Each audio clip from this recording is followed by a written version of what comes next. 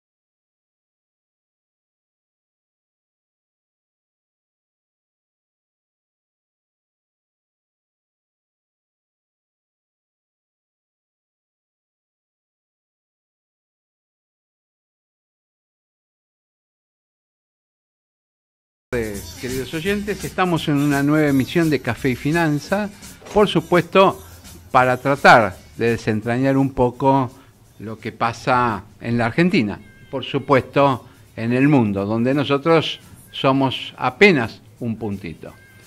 Tenemos de miles de cosas que hablar, pero vamos a tratar de resumirlas. Ahora el próximo domingo hay elecciones en España y tomo un poco lo que decían nuestros colegas del programa anterior, la otra agenda, y también hay una grieta en España y la gente trata de dilucidar por quién va a votar. Yo tengo, justo hoy me manda un, WhatsApp de alguien que vive en Barcelona y me dice, ¿no? Es, la izquierda es esto, la derecha es esto, y da la sensación que el concepto final, si lo resumiéramos, es, es que hay una grieta y la gente tiene iguales o las mismas cosas por las cuales pensar y por las cuales luchar.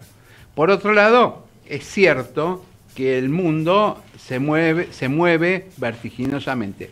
El otro día tuvimos un, digamos un, episodio de incendio en Notre Dame, esta semana tuvimos algunos atentados que cada uno se lo adjudica a los efectos de sus propias ganancias y llevar agua a su molino y por otro lado los combaten. Esto pasa, digamos, en, en Oriente, en Sri Lanka pasó esto de las bombas.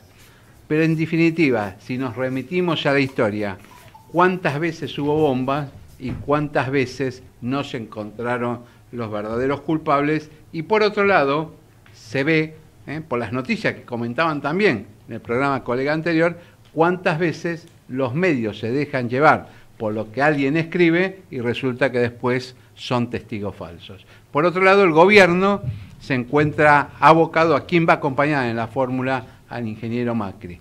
¿Será Lustó? ¿Será otro? ¿Qué pasará con el actual vicepresidente? Son temas que van a quedar en el tintero por ahora y solamente le ponemos puntos suspensivos hasta que comencemos con el tema de los mercados. Nos da un poquito de música Javier y seguimos.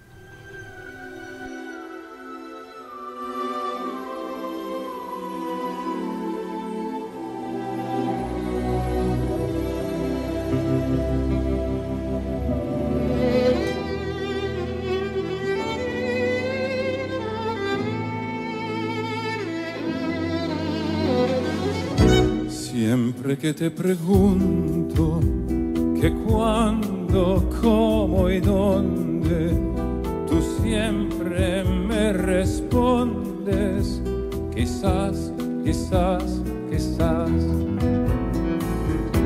Y así pasan los días y yo desesperando y tú, tú contestando, quizás quizás, quizás.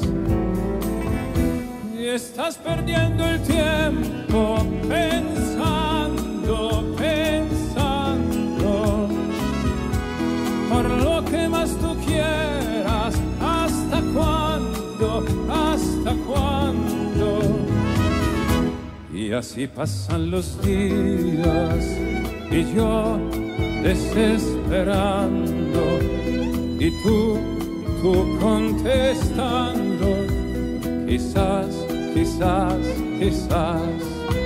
Seguimos en Café y Finanzas y el doctor José da Pena, que acaba de dar sus exámenes de locutor. Buen día, ¿cómo le va? Buen día. No sé si locutor, no, mi voz no es muy privilegiada, pero bueno, se hace lo que se puede. ¿Cómo le va, doctor Corrado? A mí, bárbaro. Qué día, qué día raro, ¿no? Los mercados están bastante, bastante, alterados hoy, se disparó el riesgo país, casi 900, casi, sube casi 6%, 900 puntos está por llegar todas formas, recordemos que en algún momento del año 2014 también y en el año 2009 el riesgo país se había disparado en Argentina, así que llegó a los 1.400 puntos en algún momento de la administración del anterior eh, presidente de, Fernández de Kirchner, o sea que, que, el riesgo país se dispare, digamos, no es algo nuevo, no es algo que pasó únicamente la convertibilidad y después nunca volvió a pasar. Se ha disparado, ha subido y bueno, de alguna forma eso está reflejando las las, incertidumbres que existen, las dudas que existen con respecto a la sustentabilidad de la economía argentina, a pesar de que hubo una muy buena noticia con respecto al primer trimestre, se alcanzó un déficit o un superávit primario de 10 mil millones de pesos por primera vez en muchos, en muchos años para el primer eh, trimestre. Y lo que está mostrando es que se está cumpliendo con el eh, cronograma que se había establecido con el Fondo Monetario Internacional. La mala noticia es el déficit financiero. Es decir, cuando vos consideras los intereses, se fue a casi 70 mil millones de pesos, o sea, pasó de más 10 mil a menos 70 mil millones eh, de pesos. O sea que lo que realmente está de alguna manera limando todo este proceso es la carga de intereses que estás pagando, como le está pagando, como le está pasando a una empresa ahora que quizás el descubierto le está comiendo la cuenta de, resultados.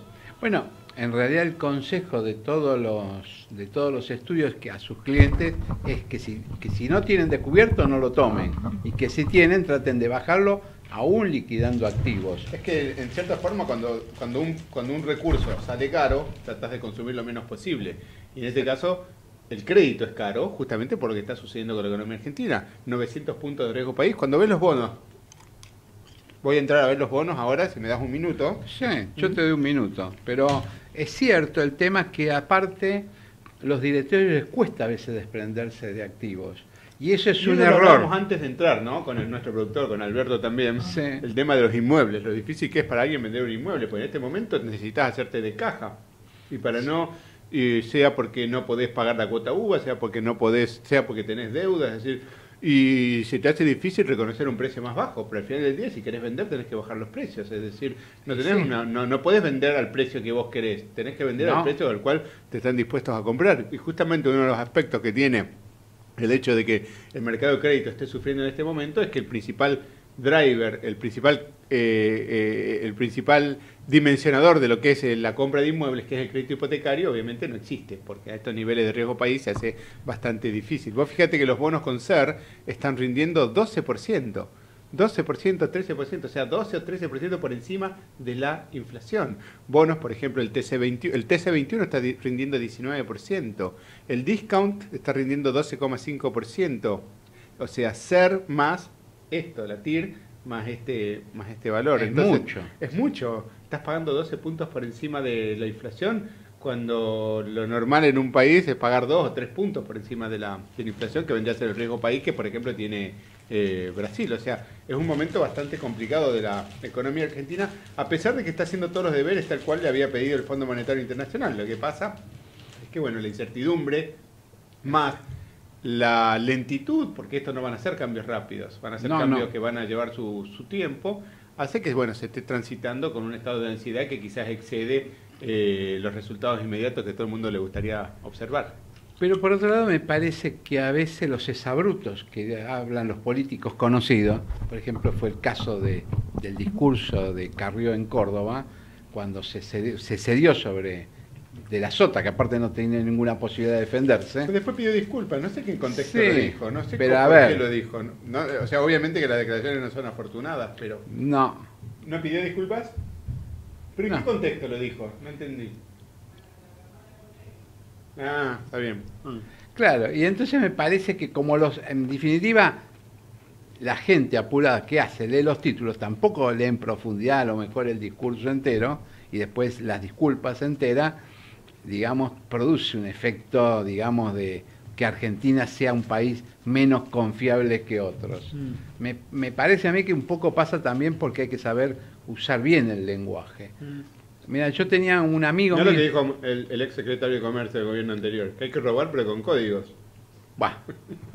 que son, Claro, co- claro, claro. son códigos que, en definitiva, en el programa anterior decían, son códigos... La gente no tiene filtro con lo que dice, no, no, no, no, no, no, no tiene un freno inhibitorio en el lóbulo prefrontal que le permite de alguna manera analizar lo que dice. Si cada uno dice lo que dice y no tiene consecuencias. Claro. Y yo tenía un amigo mío que era abogado, ¿no? Mm. Hoy sería un hombre que tendría noventa y pico de años.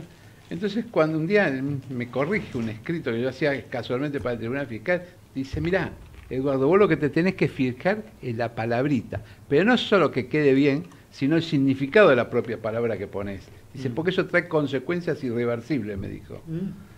Lo mismo ha sucedido con comas, cuando no pones una coma en el lugar apropiado, Claro. pones una coma, cambia Claro. el sentido de la oración. Claro. Vos fíjate que los bonos en dólares, hay un bono que se llama AO20. Es un bono que vence en octubre del año que viene, en octubre del, del 2020. ¿m? Te paga un cupón, te paga cupón creo que en octubre de este año, te paga en abril del año que viene y te paga todo el, el- el- el- el monto que te debe en octubre del año, del año que viene. Ese bono está rindiendo actualmente 18,6%. O sea que si vos ponés, comprás ese bono en este momento, que está cotizando en pesos a 3.860, ¿m? más o menos está el valor e- equivalente, ya te lo digo, 3.860, para ver el valor en dólares, 3.860 dividido 43.74, 88 dólares, 88 dólares con 25. Vos, vos comprás ese bono, 88 dólares con 25, y te devuelve, te paga intereses en estos periodos, en, en- creo que en, en octubre de este año, abril del año que viene, octubre del año que viene, te devuelve 100 dólares en octubre del año que viene.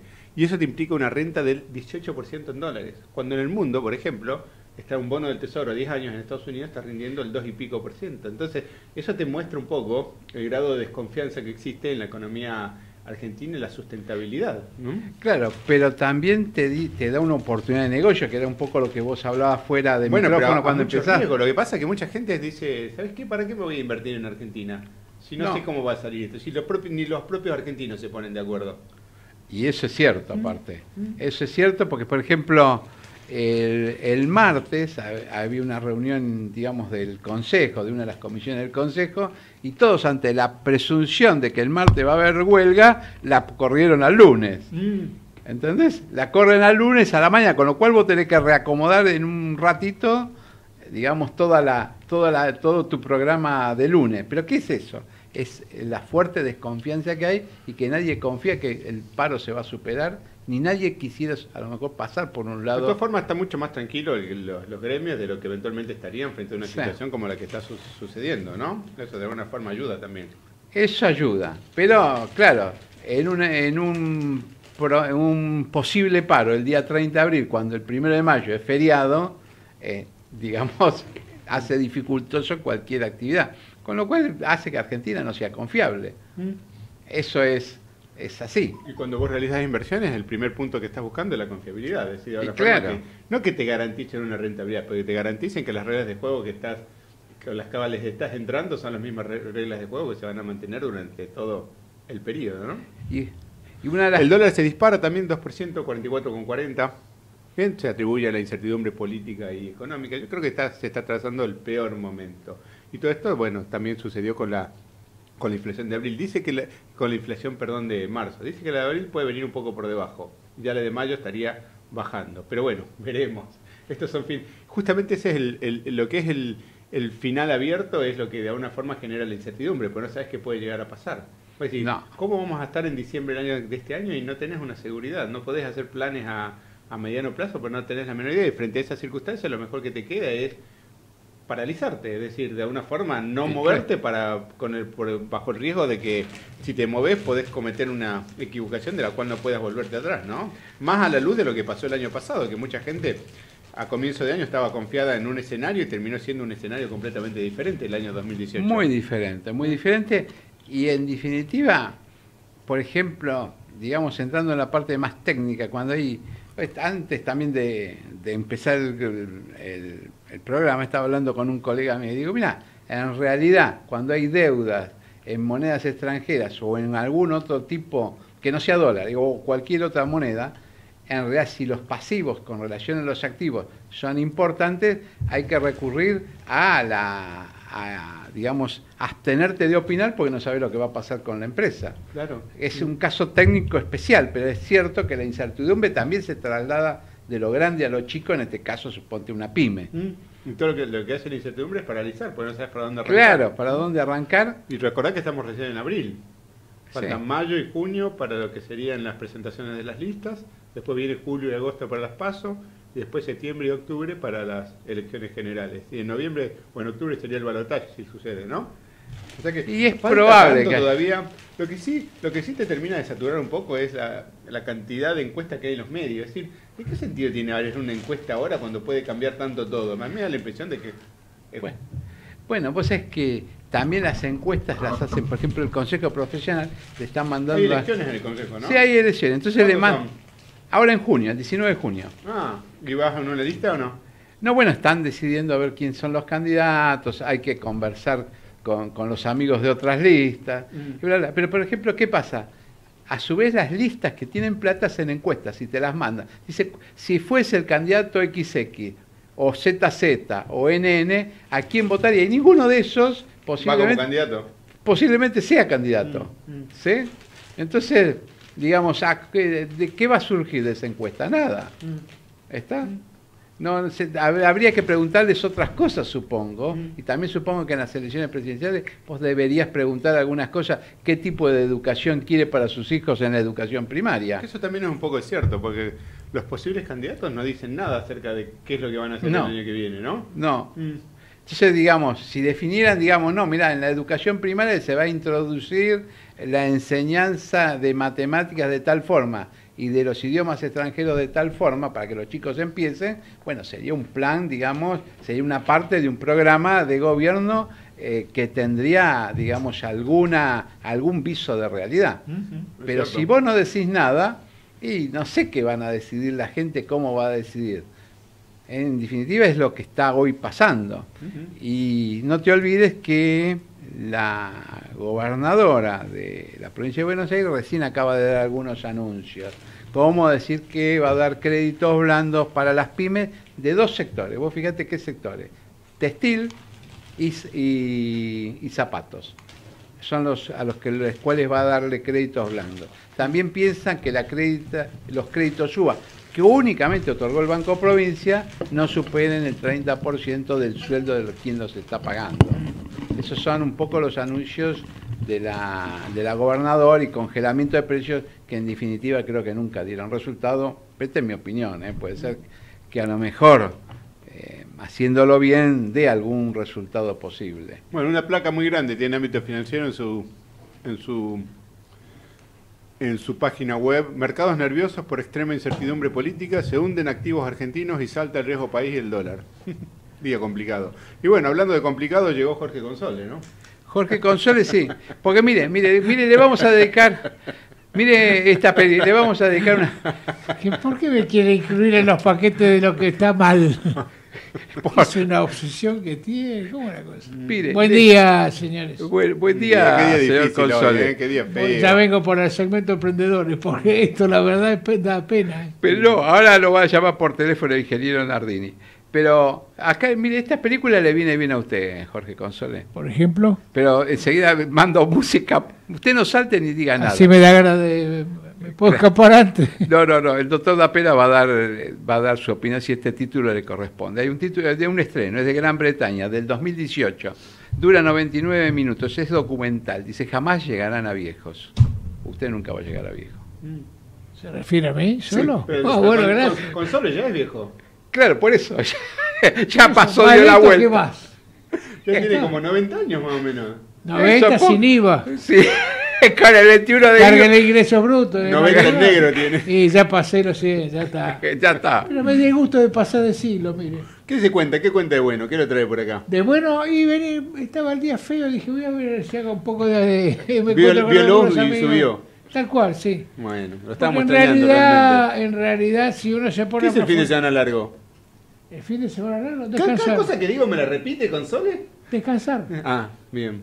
Porque gano tiempo a empezar la respuesta. ¿Pero dónde fue? ¿A dónde fue? Eh, sí, sí. No, no. Está, Yo- está- está pensando. Por eso, Claro. el que repite el que repite la pregunta Se es porque de alguna forma está pensando qué le conviene decir. ¿no? Claro. Pero eso exacto. es un, tema ya, ya viejo. ¿Eso es un tema ya viejo? ¿ves? Ah, Ah, de- eh, de viejo. Técnica. Mire, le voy, a dar, le voy a dar una pista. ¿Me va a dar una pista? Sí, correcto.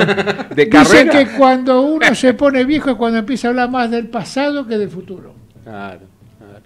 Mm, Y gracias a Dios no es mi caso. Claro. Usted tiene un futuro brillante por delante. En la Argentina no. Por lo visto en la Argentina no. ¿Pero qué hizo el fin de semana? Me da El curiosidad. Cuéntele a, todo el- a la gente llama por teléfono, que pregunta, Claro. quiere saber qué hizo Console el Y fin de semana. Usted tiene un club de admiradoras. Está bien que todas superan los 70 años, pero bueno, de alguna Bueno, manera hay siempre gente que bueno. vive después de los 70 años. Por ¿Usted qué cree supuesto, que el límite de vida en la No hay admiradores buenos o malos, son todos buenos. Claro, Así que bueno. usted tiene un club de fans. Cuéntele qué hizo el fin de semana largo. El fin de semana ¿A largo este, practiqué algún deporte al cual me ¿Algún deporte? tiempo, entre los ¿Cuál? cuales el tenis, señor. Ah, hace muchos pero, tiene un problema en decir que juega al tenis. No, ninguno. ¿Tiene miedo de pasar por snow, por cheto? No, por Ah. nada. Mm, Juega. ¿qué- qué- ¿Cuál es su mejor? ¿El drive, el revés o el, El saque? drive, señor. En el revés estoy bastante bien ahora. Mm. Lástima que rompí el menisco, pero bueno, Ah. estoy en la disyuntiva de si conviene operar o no. Mm, Por la recuperación. Bien, bueno, con eso nos Y vamos. dada ahora. la avanzada edad que tengo. Ahora cuando volvamos en la siguiente media hora le voy a decir qué es lo que te ha pasado, porque da un día complicadísimo, la verdad hubiera sido mejor quedarse en la cama, viendo tele, Netflix, algo. Eh, no para sé. ver, para ver lo que hay que menos hablar de economía, cualquier cosa, cosa. eh, porque menos de encima es para peores. Lo- lo- no- no- nos dan, nos da, no nos da satisfacción. No, la en serio, economía. ahora lo que preocupa es que alentador no hay nada. ¿No? Eso Salvo nuestro propio ánimo. Claro, es ponerle buena onda, nada más. Y pero que le vamos a ganar a Boca. Si vos agarrar, sí, bueno, ese es otro tema, pero agarrar. ¿Quién le va a ganar a Boca? ¿Quién River le va a jugar- ganar a Boca. ¿Cuándo juega River? Y no sé, pero no, va a ganar no, Libertadores. todavía Hoy juegan los dos, pero en el marco de la Copa Libertadores. Libertadores. Mm. Vamos, vamos, vamos, guárdese lo que tenga que decir, así lo dice después del corte, después de la ¿Cómo no, música. doctor, cuando usted diga. Bueno.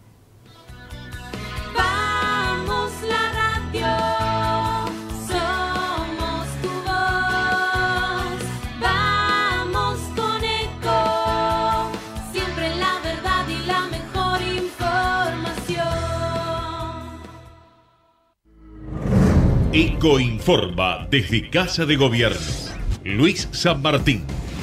El presidente Mauricio Macri arribó a la localidad de Venado Tuerto, Santa Fe, donde tiene previsto reunirse con productores tamberos de localidades cercanas. Mientras tanto, en la Casa Rosada eh, había una serie de especulaciones en torno a las reuniones que se realizaron fundamentalmente ayer con eh, dirigentes del radicalismo, con los jefes del partido gobernante de Cambiemos. En este sentido, fue muy fuerte la decisión de eh, la gobernadora Vidal de afirmar frente a distintas versiones que ella va a ser candidata a gobernadora y que ve al presidente más fuerte que nunca, dijo. Entre tanto, el jefe del gobierno porteño eh, aseguró que va a haber un éxito rotundo por parte de Cambiemos en las próximas elecciones. El optimismo llama la atención teniendo en cuenta las últimas encuestas que han aparecido en terreno popular y esto implicaría que la situación no está del todo organizada. Desde Casa Rosada informó Luis San Martín. Ay, pero qué tarde, ¿qué se me hizo? Me tengo que apurar porque si no, no llego, no llego, no llego. No. ¿Pero seguro? ¿Qué problema? Eh, bueno, vamos a encontrar una solución. Bancame ahí que en dos minutos estoy con vos. Bueno, vos ahora te tenés que ir. Sí, pero yo quiero hablar de esto ahora. Cuando llegue a casa te llamo. Te... Tres de cada diez muertos en el tránsito son peatones. Cruzá siempre por la senda peatonal o esquina, respetando los semáforos. Allí, todos los vehículos deben darte prioridad. Luchemos por la vida. Descarga gratis de tu celular la aplicación Ecomedios. Podés escucharnos en vivo, informarte con las últimas noticias y entrevistas en audio y video. Búscala y bajate la aplicación Ecomedios. Podés vernos en vivo en ecohd.com.ar. ecohd.com.ar Conectate con nosotros. Línea directa 4-325-1220. Global Inversión. El único fondo de inversión agropecuario focalizado en especies aromáticas. Más información en nuestra página globalinversión.com. En noticias y economía.com.ar vas a encontrar la información y la opinión que no sale en otros lados. Gestión integral de inversiones inmobiliarias en Miami. Eduardo Pérez Oribe, presente en el mercado de Miami por más de 25 años, le brinda servicios de asesoramiento, búsqueda y análisis de opciones, gestión integral de la compra y administración posterior de su propiedad para que su decisión de invertir en bienes raíces en USA se concrete con óptimos resultados. Le ofrecemos un servicio diferenciado que incluye la compra y la gestión de todos los aspectos pre y post compra. Intertrust Realty. Teléfono 52 56 7136.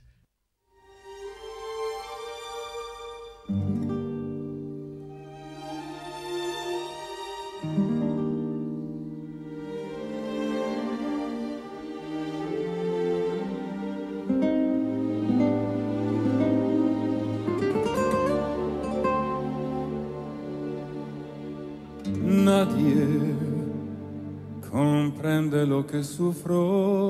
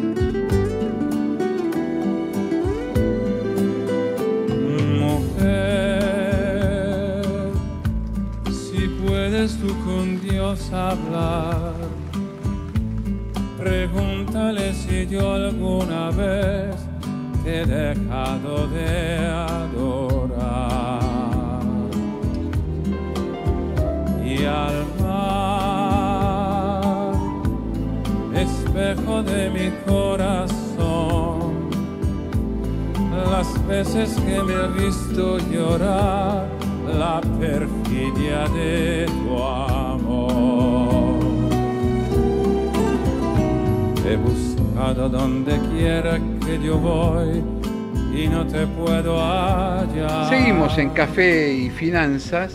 Hay ¿no? Eh, vientos de vientos como para navegar de bolina. disparar, ¿no? La verdad que no tenía la menor idea para dónde disparar. ¿Viste cuando un conejo está ahí? Para mí que lo agarró el viento en algún lado y lo No, no, eso se llama navegar de bolina con viento Mm. en contra. 44,70 el dólar, Banco Nación para la venta. ¿Escapo? ¿Qué hago? ¿Lo vendo los dólares? ¿Qué hago?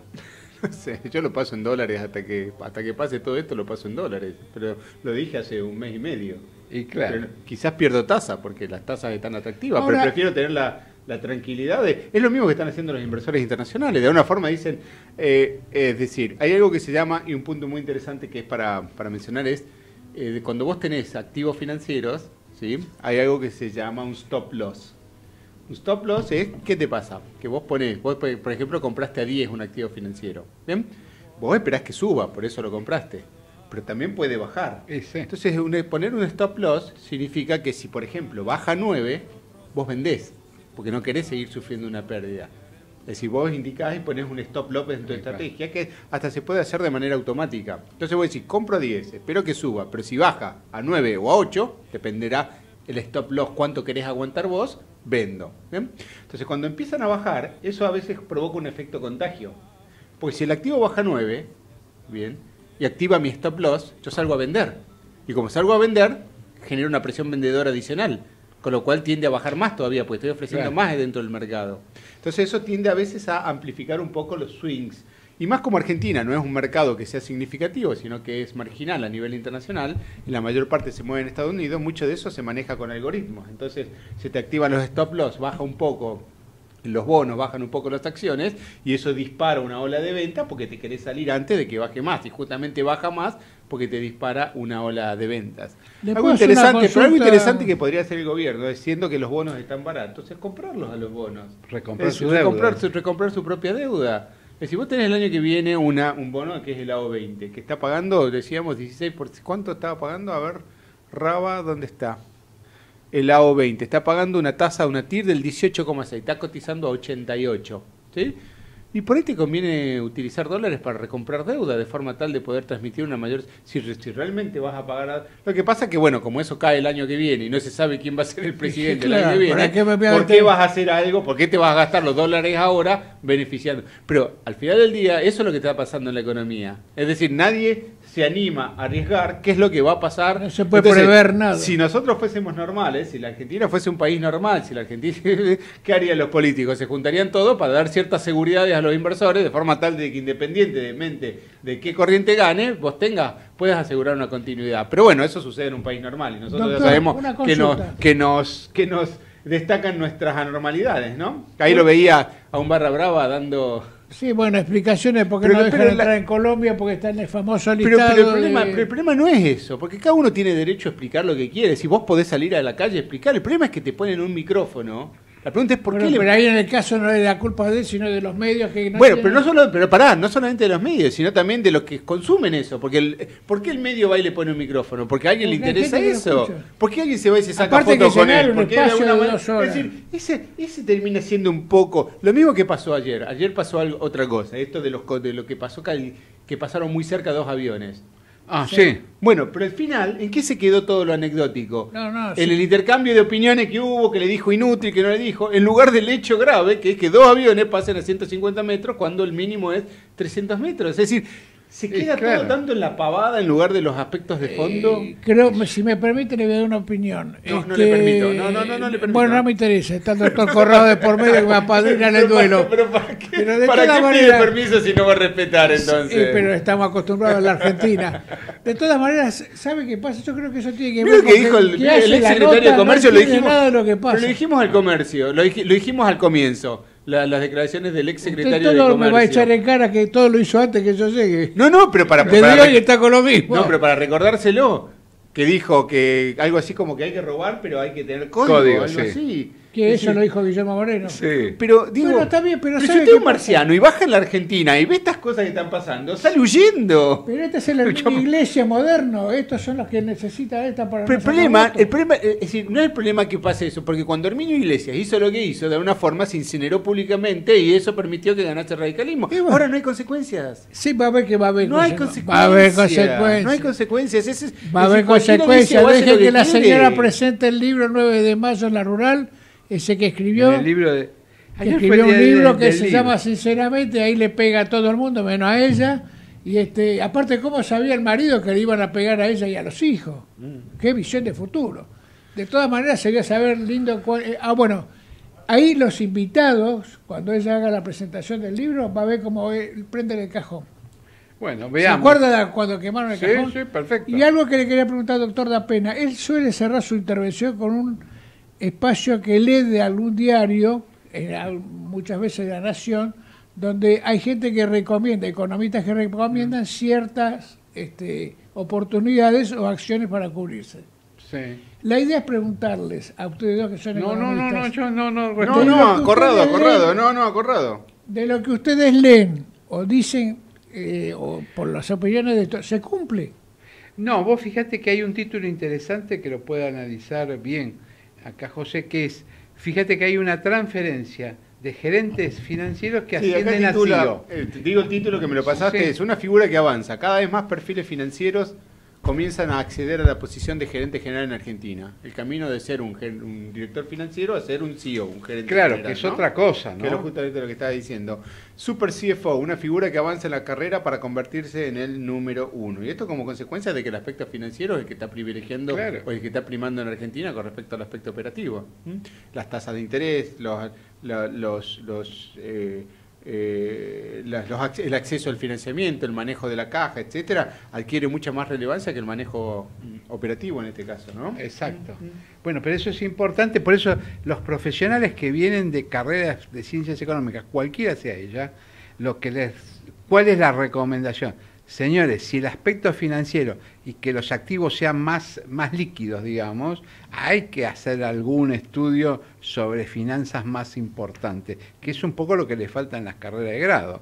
¿Por qué no profundizar un poco más en matemáticas, en matemática financiera y en el tema de digamos, de los, de los bonos, las acciones, todo lo que hace a la finanza, que en definitiva a veces hacen que las empresas no pierdan plata y ganen plata, no por su actividad, sino por la financiera. Mira, había una, había, había- fue un gran gerente general, un gran CEO histórico de una empresa también, un conglomerado, eh, una multinacional que fue General Electric, que era Jack Welch. Y Jack Welch se hace cargo de General Electric en un momento que la empresa estaba atravesando una crisis, una crisis de negocios, ¿no? Un gigante, pero atravesando una crisis. Y lo primero que hizo, el, según cuenta la historia, el Jack Welch fue decir, bueno, tenemos toda esta unidad de negocios.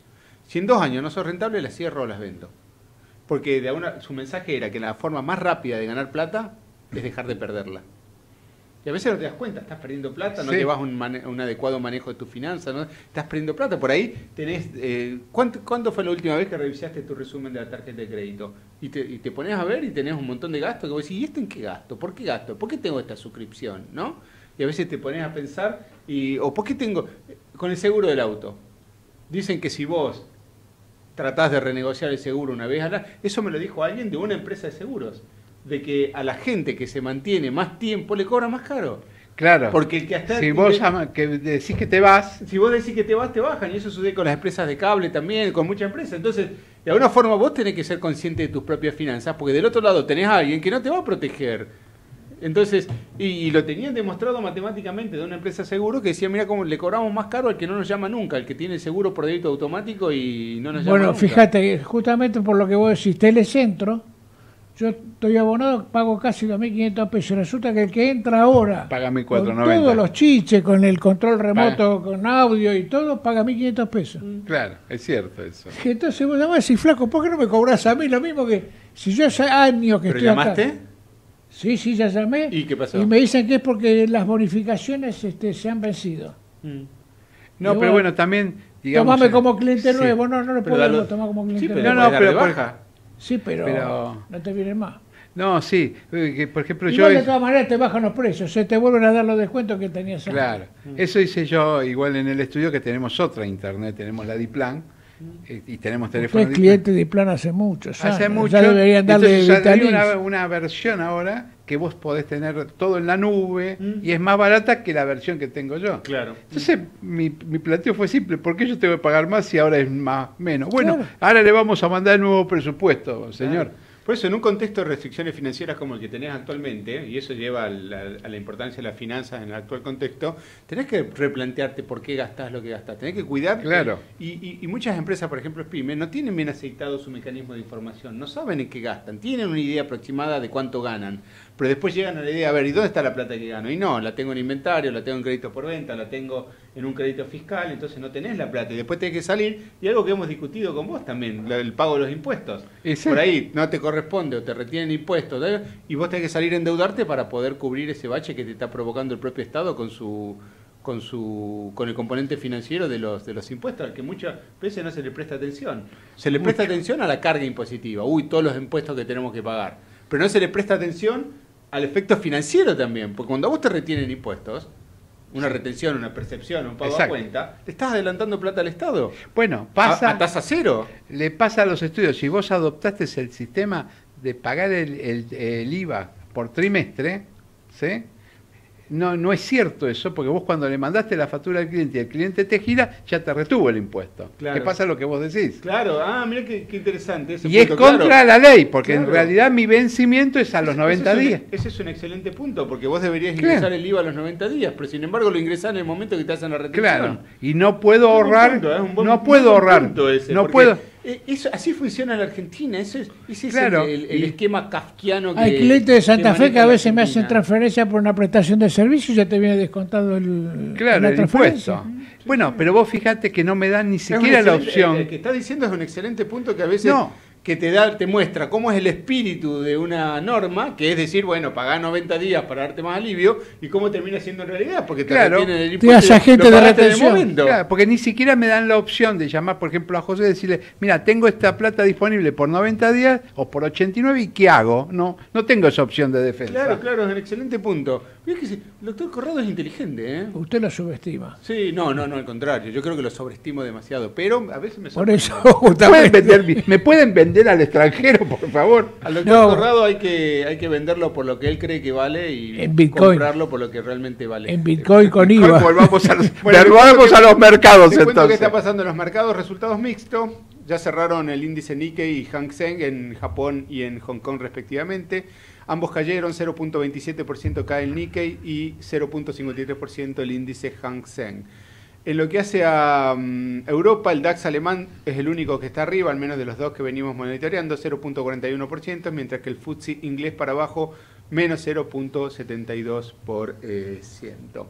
Y lo que hace a Estados Unidos, el SP500 0.07% para arriba, va ganando ya, fíjese, las acciones en Estados Unidos van ganando ya 12% en lo que va del año, un poquito más inclusive. Y con una inflación del 3, ponele, o del Del 2. 2, del 2% anual. Anual, o sea que neto 10. Está bien que te pegaste un palazo en diciembre, ¿no? Pero bueno.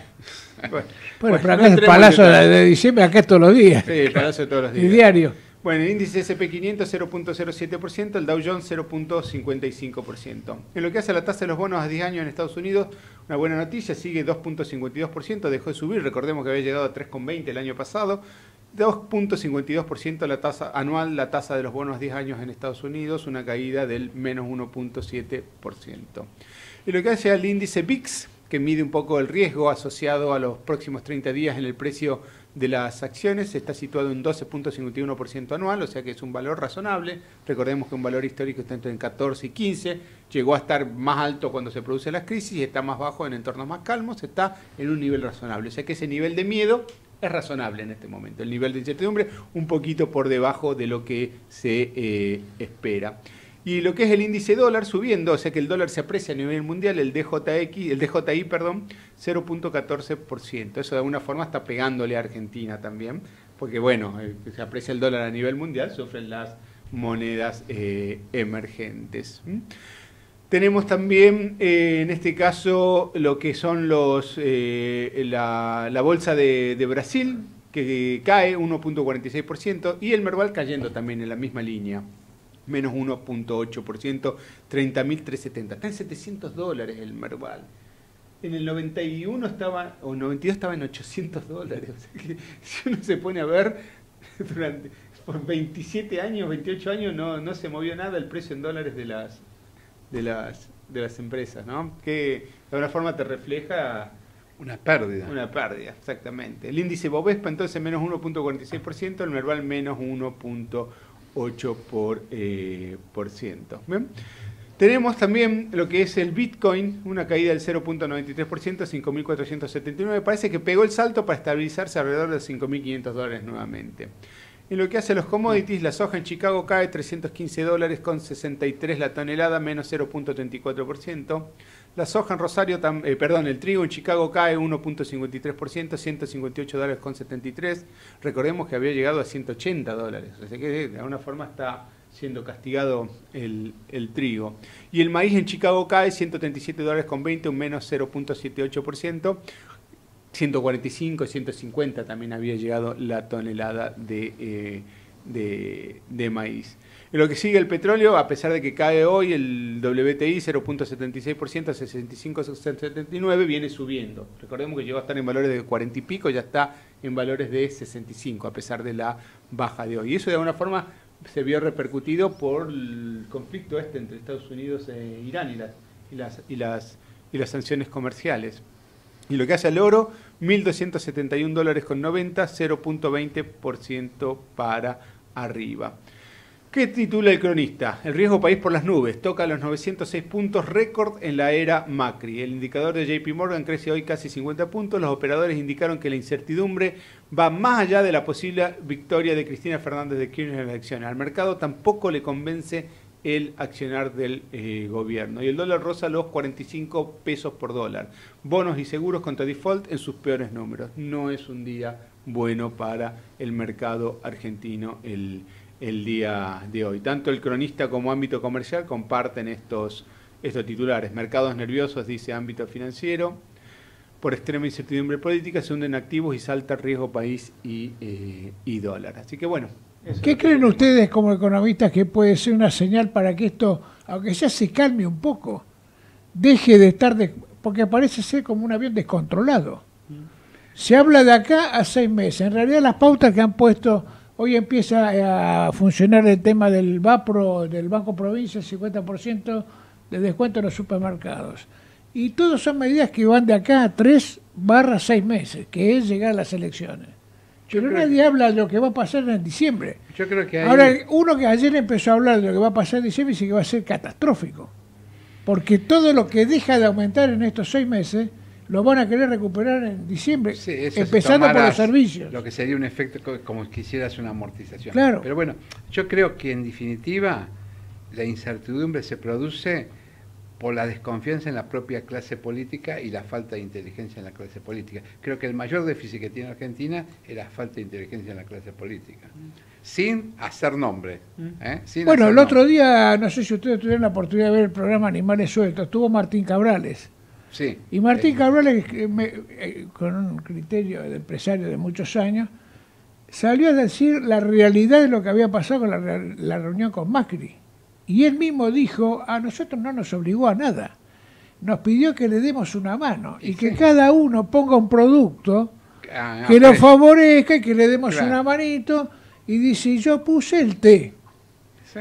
para que como precio bajo para poder competir y poder ayudar al gobierno, pero no es que nos obligaron ni nada por el estilo. Ahora no bien, hay forma. vos- el comentario seguía de esta manera. Él tiene la planta de té en Mar del Plata. Sí. Para poder cumplir con las pautas de la venta de cantidad de té y entrar en ese programa de precios, no sé cómo Sí, se llama, necesita tomar empleados. ¿Y sabes qué es lo primero que tiene que hacer? Ir a hablar con el sindicato.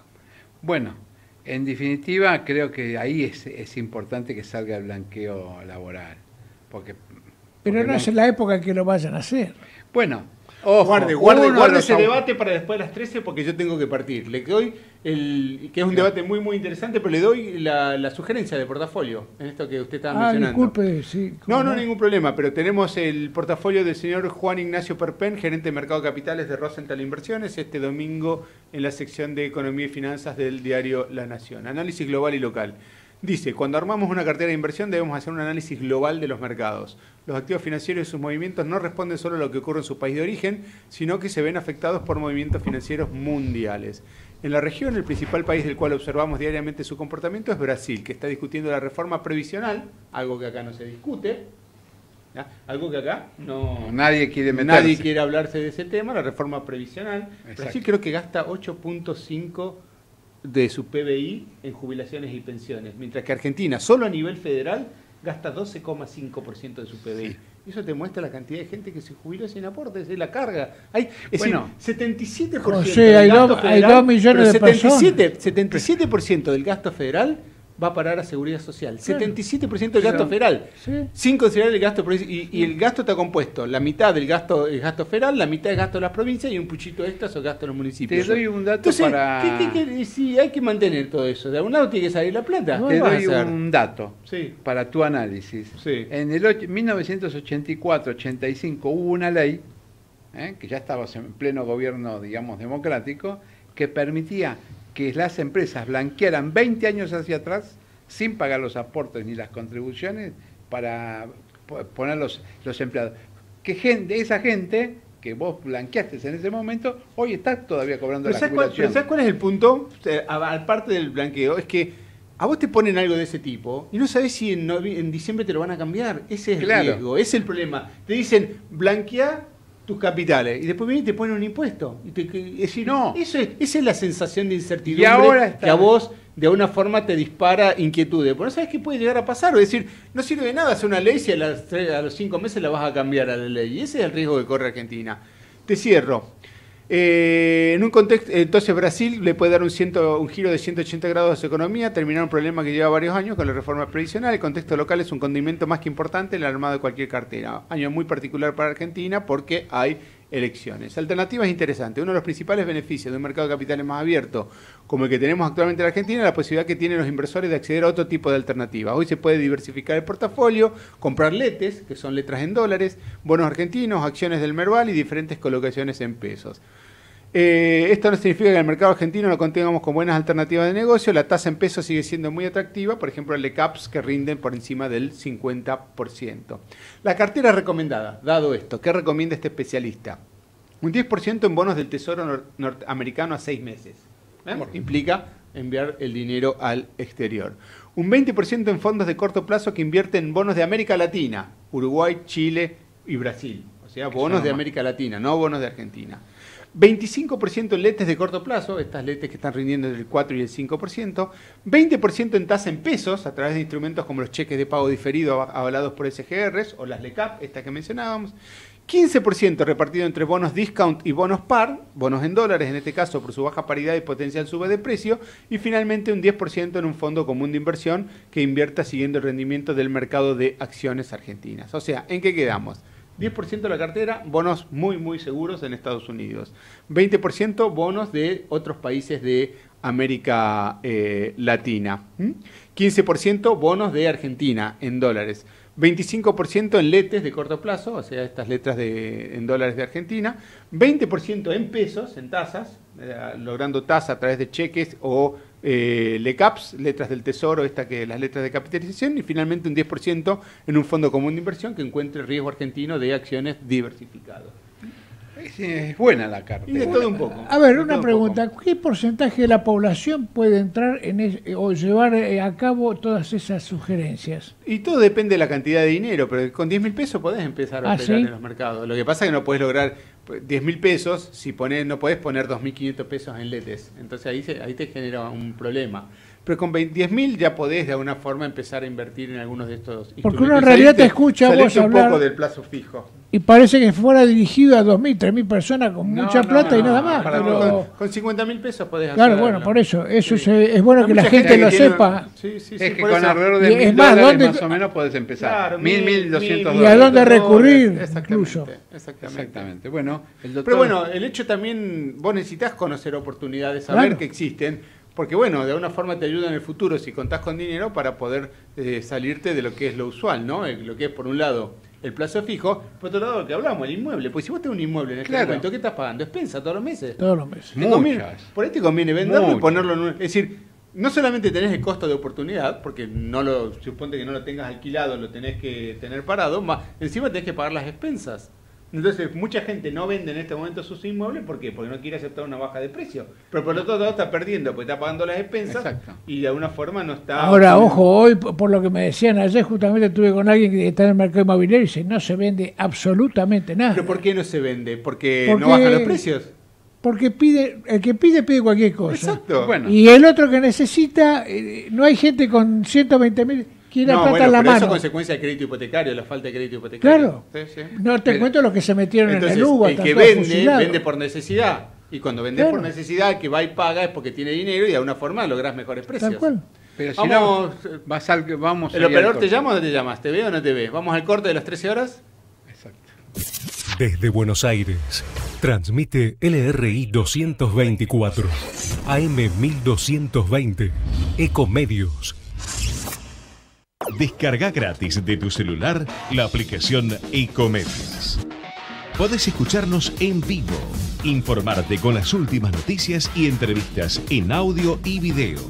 Búscala y bajate la aplicación Ecomedios. Econoticias. Toda la información al instante. Toca los 45 pesos y el riesgo país sube a 918 puntos. La divisa norteamericana habría cerrado el día de ayer en 44 pesos aproximadamente y hoy ya está tocando a esta hora el pico de los 45. El riesgo país sube por la inestabilidad que hay en el territorio. También se deprecia el real fuertemente. Por otra parte, Vidal anunció medidas concretas. Esto fue lo que dijo la candidata a gobernadora y gobernadora de la provincia de Buenos Aires. Estas medidas son impulsadas por el Banco Provincia de Buenos Aires, quien ofrece 50% de descuento en los hipermercados y comercios que posean sus tarjetas de débito o crédito. También habrá importantes descuentos y beneficios para las pymes en el Banco Provincia y también habrá una especie de congelamiento en los créditos UVA donde no podrán excederse del 30% del sueldo que perciba una familia. También se anu- anunció una medida muy esperada que es el congelamiento de tarifas. Un informe de Luciana Giordano para Ecomedios. Banco Provincia tiene los mejores beneficios para vos y tu familia. Disfruta descuentos en espectáculos, restaurantes, supermercados, turismo y mucho más. Conocelos en bancoprovincia.com.ar. La mejor información pasó por Econoticias. Ecomedios.com. Tengo algo excelente para recomendarte. MGN Salud es una empresa de medicina que te da más servicios, más beneficios y la mejor atención. Anota, llama a MGN Salud al 4629-3351. Podés asociarte ahora y aprovechar tus aportes. Llama al 4629-3351 y asociate a MGN Salud. MGN Salud llegó para cuidarte. Superintendencia de Servicios de Salud www.sssalud.gov.ar 0800-222-72583. RENEM número 117924. La información que pasa por Eco está en ecoya.com.ar. Conectate con nosotros. Twitter arroba Ecomedios 1220. Global Inversión. El único fondo de inversión agropecuario focalizado en especies aromáticas. Más información en nuestra página globalinversión.com. Mantenete siempre informado en www.noticiasyeconomía.com.ar. Gestión integral de inversiones inmobiliarias en Miami.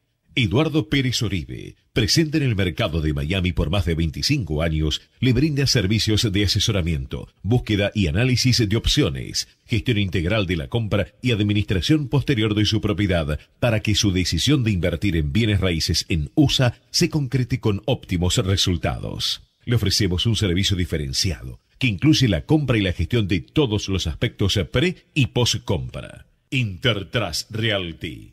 Teléfono 52 56 7136.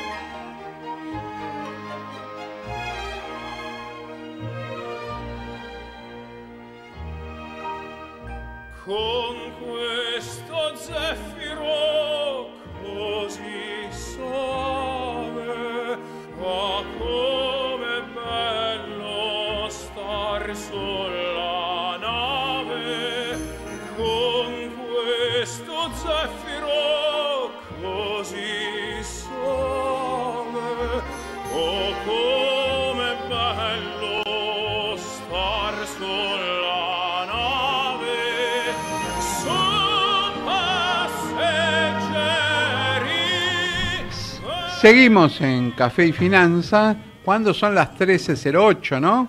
13.08 con la temperatura de 19 grados dos décimas. El día bastante, por lo menos acá en el centro de la Ciudad de Buenos Aires, el cielo cubierto, Ajá. clima medio raro. Va, está raro en todo, ¿eh? Está muy raro.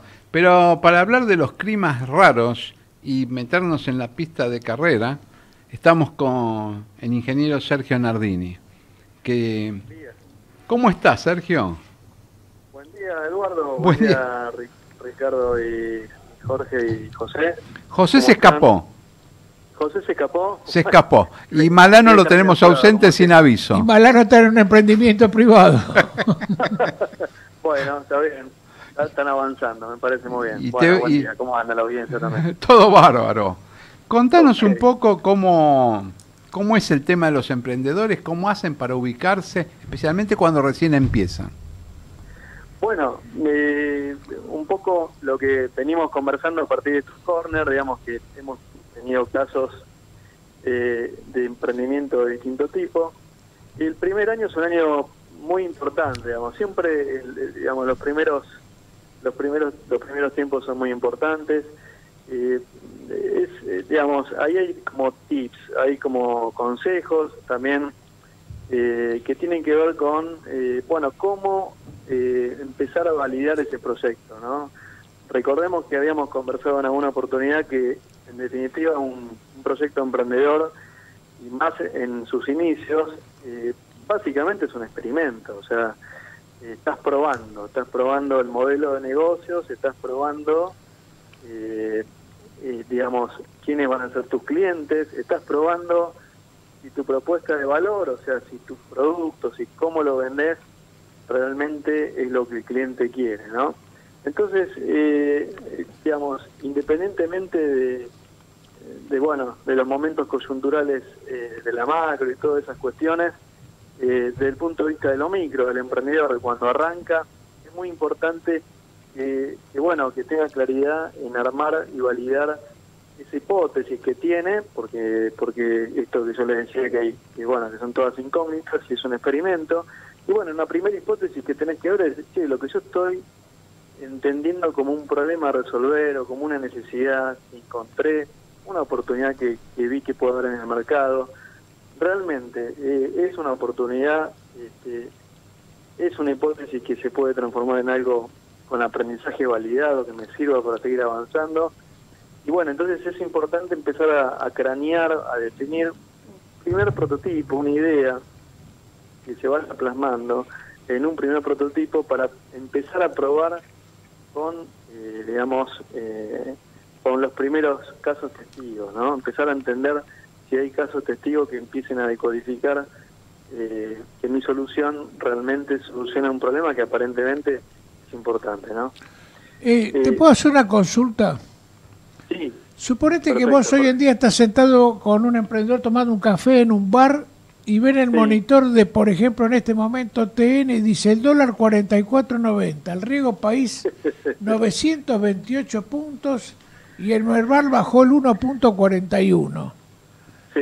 ¿Qué, Eh, qué le aconsejas? ¿Se van los dos a su casa eh, o, o, o qué le sugerís? ¿Cuándo empe- empezar con el emprendimiento, ir planificándolo, esperar hasta después las eh, elecciones? ¿Qué crees que es lo ideal? yo ahí, digamos, por supuesto que acá hay temas que son coyunturales y bueno, todos los días eh, nos encontramos con una situación que evidentemente es una crisis que eh, todavía no tuvo su desenlace o, o los desenlaces que tenga que tener para entrar en una, en una instancia, digamos, de estabilización, digamos. Entonces, obviamente uno está en un, en un momento donde está la temperatura alta y dice, bueno, eh, vamos a resolver primero las cuestiones, las cuestiones básicas, ¿no? Las oportunidades siempre están, siempre el ser hombre. Primero que el espíritu emprendedor es un espíritu que tiene que ver con el espíritu de supervivencia también, de autosuperación, que va más allá, digamos, de las, del contexto, ¿no? Como me decía un profesor en alguna oportunidad, este, ahí en el SEMA también, las, las circunstancias son como son, digamos, ¿no? El tema es qué haces vos con las circunstancias, ¿no? Me parece que esa es una frase muy interesante porque te pone en protagonista a pesar de... Obviamente, eh, digamos, el contexto está, el contexto hay que leerlo y, y hay que decodificarlo. Entonces, obviamente, eh, eso hace que uno tenga, entre comillas, más, más recaudos o por ahí pueda avanzar en cosas que tengan menos costos y, y bueno, siempre empezar de menos a más. Yo puedo ir haciendo la investigación previa, ir, ir, craneando, ir teniendo conversaciones con personas que me ayuden a validar esto que yo estoy pensando y, y bueno, también salir un poco de esa coyuntura este, y son cosas de costos bajos, digamos, ¿no? Empezar como a bajar en limpio cuál es ese modelo de negocios, cuál es esa idea, tener estas conversaciones que yo te digo con gente de referencia. El emprendedor es una persona que tiene muchas conversaciones, ¿no? Entonces, como cualquier líder, en realidad un líder es una persona que permanentemente tiene conversaciones. Eh, y de alguna manera esto eh, eh, es lo que puede empezar un proyecto emprendedor a pesar del dólar y a pesar de, esas cuestiones. Obviamente cuando vos ya estás con los primeros pasos dados, bueno, obviamente ya te toma con alguna inversión hundida, que bueno, eh, lo que eso de alguna manera hay que tratar es de reforzar algunos conceptos, digamos, ¿no? Eh, siempre hay como principios que son para mí como muy importantes en todo momento y más en estas cuestiones de crisis que tienen que ver con ser magros, eh, ser frugales. ¿Qué significa eso? Bueno, tratar de hacer mucho con poco, agregar valor eh, lo más eficientemente posible.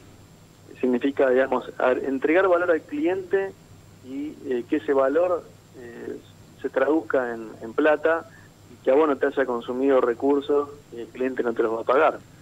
¿eh? Teniendo en cuenta tu eh, experiencia en, lo que tiene que ver con los emprendimientos, y si alguien te preguntara, ¿qué rubro le recomendarías? Dada la Bueno, situación y el teatro de, de operaciones, por llamarlo de alguna manera, como está hoy en día, ¿no? La realidad. Sí, sí, sí. mira, siempre, me parece que está bueno siempre tratar en lo posible, viste que estamos todos metidos, eh, Jorge, en, en- el día a día, bueno, viste, Sí, la, tal la cual. realidad nos termina abrumando. Nos han llevado a eso. ¿Eh? Nos han llevado a eso.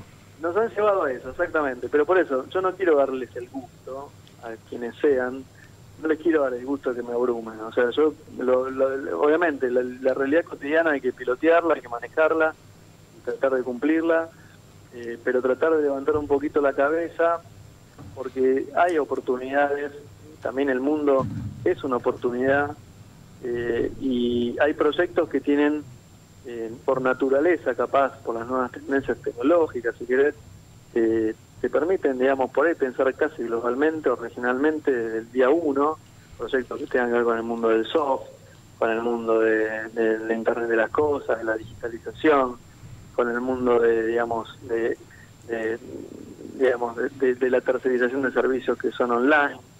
Eh, digamos, si tenés habilidades en el mundo de la programación, aprovecharlas, ¿viste?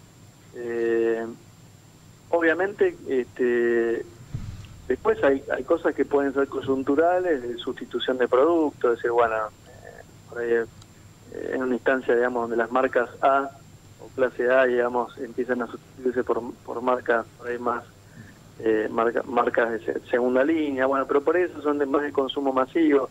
Tratar de arrancar con proyectos dentro de lo posible, primero que tengan que ver con lo que a vos te gusta, porque al final del día, eh, uno, si, si encima te vas a meter en un, en un, yo lo voy a decir en castellano, en un baile emprendedor, digamos, que, que no es un, no, no vas a ser un rockstar, tipo que te van a llamar para entrevistas todos los días, sino que vas a un tipo que va a estar, una mujer, un hombre que va a estar trabajando permanentemente por su proyecto, y bueno, lo va a estar viviendo, digamos, día a día con, con mucha intensidad, con mucha pasión. Entonces, hacer algo que te guste, independientemente de las circunstancias del país. Ajá. Eh, eso me parece que es el primer consejo, hacer algo que te guste. Segundo, basarte en cosas que tengan que ver con tu expertise, con tu experiencia, con tus conocimientos, con tus contactos. O sea, tratar de capitalizar eso primero que tenés a la vuelta de la esquina. eh, y bueno, que te vayan llevando a un proyecto, digamos. Eh, y después, digamos, con esas palancas que tienen que ver más con lo propio, que es la pasión, que es el conocimiento propio, y tratar de empezar a armar eh, networking, contactos con gente que sean afines a tus conocimientos, a tu experiencia, a- y empezar como a trabajar en equipo, y empezar a cranear ideas, pensar, buscar oportunidades, tratar de salirse un poquitito de la coyuntura para pensar un poquito más en cosas que pueden ser por ahí oportunidades de más largo plazo, ¿no? Eh, digamos, esto no es un, negocio que tenga que ver con, con una transacción de un día o ¿no? este, una oportunidad de un día, sino que es algo que de alguna manera uno quiere dejar un legado y bueno, y que ese negocio trascienda. Entonces, eso seguramente estamos hablando de años, ¿no? Obviamente, cuando uno mira estadísticas, acá estaba repasando, por ejemplo, si me permiten algunas estadísticas que obviamente uno dice, bueno, son duras, digamos, ¿no? El punto de vista, eh, de, digamos, del, del ecosistema emprendedor, por ejemplo, hay una plataforma que eh, hago mención a la revista porque salió ahí, que es La Apertura, eh, pero bueno, tiene que ver con el Ministerio de Producción. Es una, una estadística que saca el Ministerio de Producción y Trabajo en una plataforma que la llaman GPS, eh, donde dicen este, que en Argentina, este, de alguna manera, 8 de cada 10 empresas eh, llegan a los dos años de vida, pero después solamente 3 de 10 en principio pasarían los 8 años, ¿no? Eh, esto, digamos, es por ahí algo más local. En general, yo lo que suelo decir típicamente es que una de cada 10 empresas es la que realmente llega a un punto de equilibrio y a una sostenibilidad. Obviamente, entonces, eso demuestra también, del punto de vista de gobierno, demuestra que es un proceso creativo de destrucción también, de destrucción creativa, porque, eh, digamos, no es que sacas un proyecto y ese proyecto es exitoso desde el punto de vista de, de que sea sustentable, pero, digamos, en ese proceso creativo este, eh, hay que ayudar, hay que apalancar y hay que darle libertad para que crezca. Bueno, aparecen proyectos que después terminan siendo proyectos exitosos, proyectos que facturan, sin llegar a hablar de las empresas que cotizan en la bolsa, que eso es un capítulo Aparte. más, más, más de elite, digamos, ¿no? Pero, eh, pero digamos, o estas empresas que se llaman unicornios y todo eso. Pero en el medio, digamos, por eso te digo, hay estadísticas que vos decís, che, son pocas las empresas que llegan. Bueno, pero en, tal caso, digamos, hay un proceso emprendedor de aprendizaje, de sacar experiencia, por ahí en el primer proyecto haces algo chiquito y te probás en algunas cuestiones, o, o tenés, un- aunque sea un sketch, un PowerPoint, de, de primera idea de lo que vas a hacer y, y, y tenés a un primer sondeo con gente de la industria y te dicen, che, flaco, esto esto, no, no, mirá, no, te conviene cambiarlo por acá, por allá. O sea, hay cosas que las puedes ir haciendo te va dando una pequeña experiencia de avance si te gusta el mundo emprendedor. O seguir planificando para cuando tenga dadas las condiciones arrancar. Claro, exactamente. Después obviamente hay industrias, y, digamos, hay, hay industrias que tienen, eh, o negocios que están enmarcados en industrias que son, eh, capaz, eh, que tienen ventajas, porque tienen eh, un ecosistema de proveedores que, que de alguna manera te permiten tener precios competitivos de tus insumos. Eh, eso es un, es un lindo ejemplo, o sea, tratar de estar en industria donde tengas oferta de insumos a precios competitivos. Eh, eh, tratar de estar en industria donde vos puedas acceder a mínimos de compra de insumos que sean razonables para tu escala, viste, que, que te permitan avanzar, Eh, que tengas la posibilidad de diferenciarte, digamos, de poder crear barreras de diferenciación. Puede ser de la, a partir del diseño, de la marca, de un cambio en la funcionalidad de tu producto, es decir, conectate mucho con tus posibles clientes, hacer entrevistas, charla con, gente amiga, aunque sea para empezar como a, a sondear de qué se trata eh, mi idea y, hacer ese intercambio de experiencia y en ese y vuelta tratar de construir algo que, que tenga más que ver con la realidad. Hay un dilema, en realidad un, un error típico que se produce en los inicios que, que tiene que ver con el ena- enamoramiento que se produce, eh, digamos, eh, que el equipo emprendedor tiene con su producto, o sea, se enamora mucho de su producto, es la típica que lo sacás y decís, este es mi hijito, que anda bárbaro, este es un lindo producto, y en realidad el que te lo tiene que marcar es el mercado, ¿no? El que tiene que decirte si, che, está bueno, está, no está bueno, hay que cambiar esto, hay que cambiar lo otro. Entonces, cuanto antes vos saques un primer producto que sea viable para mostrar, mejor, para poder aprender rápido y empezar a modificarlo, digamos, ¿no? Eh, esa es una linda recomendación, digamos, un caso típico.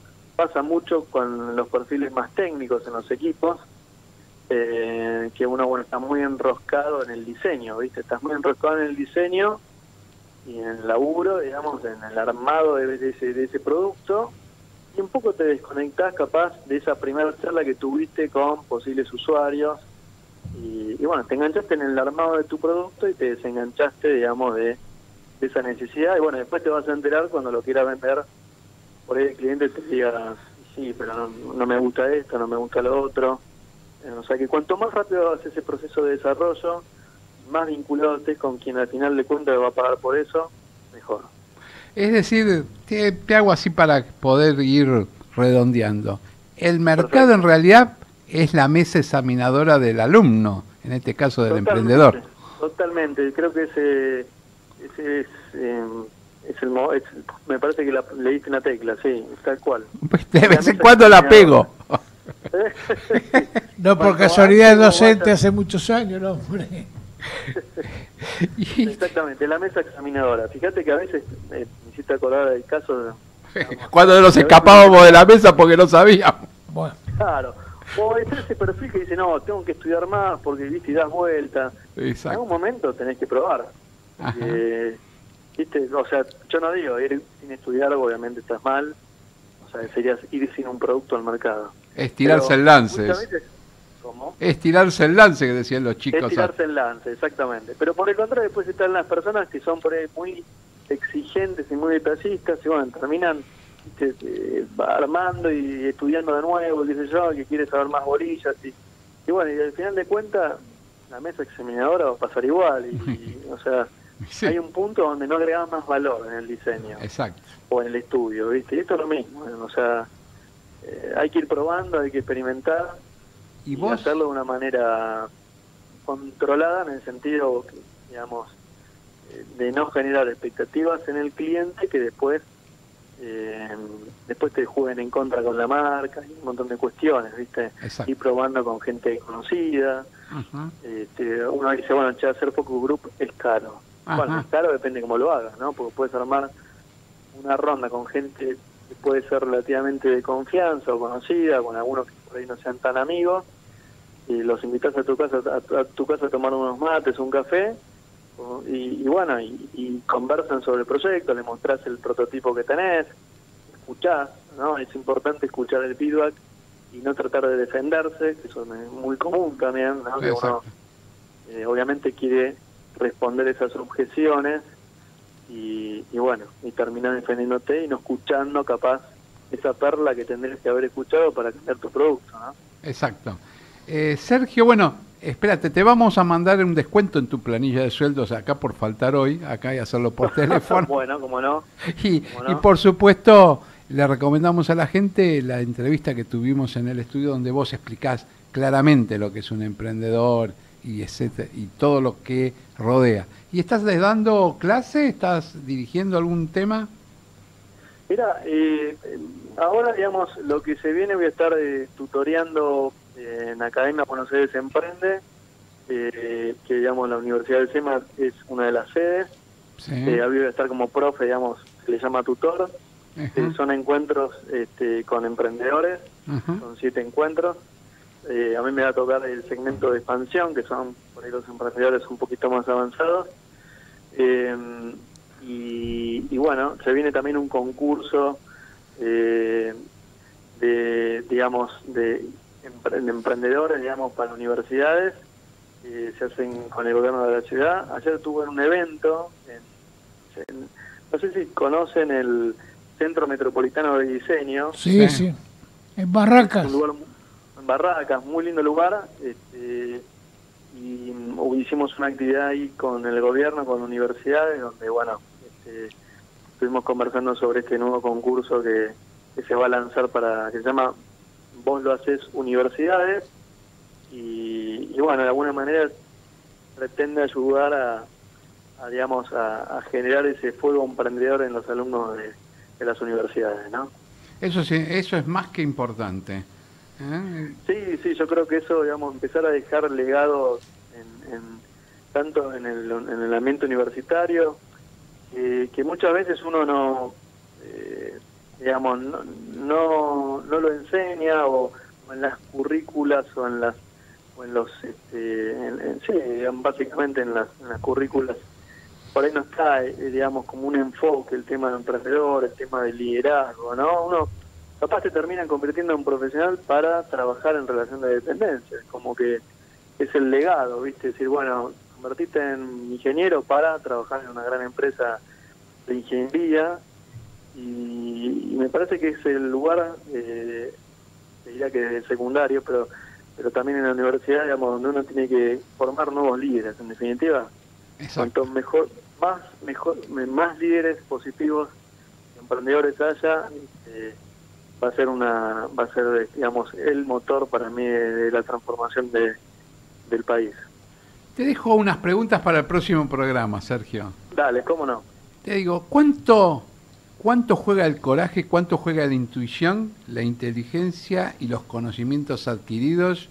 Todo eso junto para poder ser un buen emprendedor. Esto te lo dejo para el próximo Dale, programa. no. Claro, porque hoy te voy a descontar el sueldo, así que así podés recuperar en la próxima. Para que se haga un machetito para el paso. No, no, no, no, no lo dejo copiar. No, Ah, ¿no? oral va a ser y parado. Qué docente severo el suyo. claro, le No, agradecemos. me, me estás adelantando la bolilla, gordo. Te estoy adelantando la bolilla para que te. No, los temas que te va a tocar. Y no, después no le voy a preguntar Ah, eso. ¿no? claro, después Ah, le pregunto- cambia las preguntas. Claro, Qué buen docente. claro, qué bueno que soy. Bueno, te agradecemos mucho que hayas estado Bueno, con por un nosotros placer, saludos a la audiencia y, y te obviamente esperamos el, el próximo miércoles acá, porque te comunico que vas a conducir el programa, una parte para, para ir El entrenando segmento emprendedor. como, emprende, como emprendedor de radio. De multimedios. De multimedios. Bueno, cómo no. Bueno, gracias por estar. No, por favor, un placer y buen fin de semana. Gracias, hasta luego.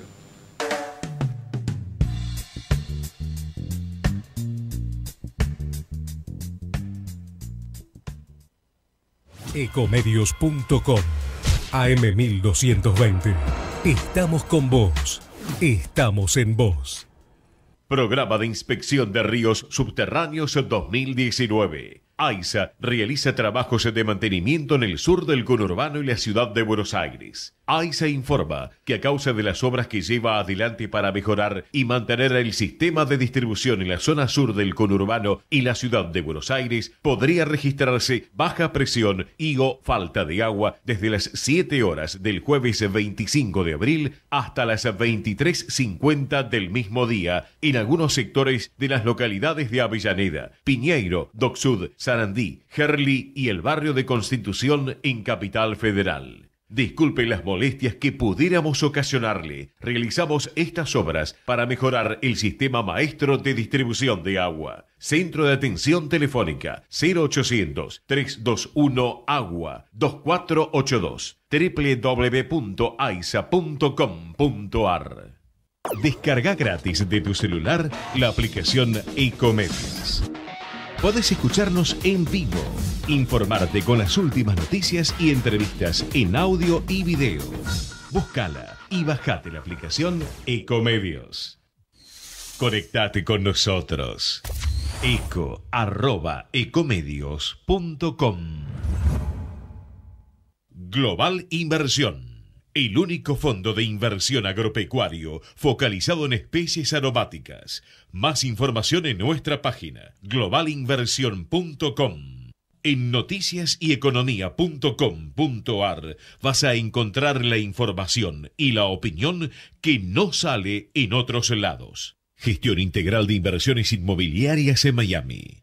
Eduardo Pérez Oribe, presente en el mercado de Miami por más de 25 años, le brinda servicios de asesoramiento, búsqueda y análisis de opciones, gestión integral de la compra y administración posterior de su propiedad para que su decisión de invertir en bienes raíces en USA se concrete con óptimos resultados. Le ofrecemos un servicio diferenciado que incluye la compra y la gestión de todos los aspectos pre y post compra. Intertrust Realty. Teléfono 52 56 7136.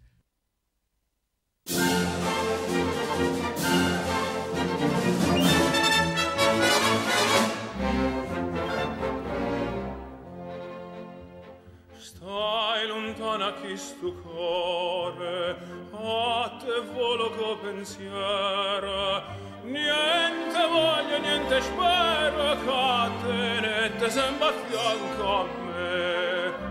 Si sicure che sta amore, come so sicure te.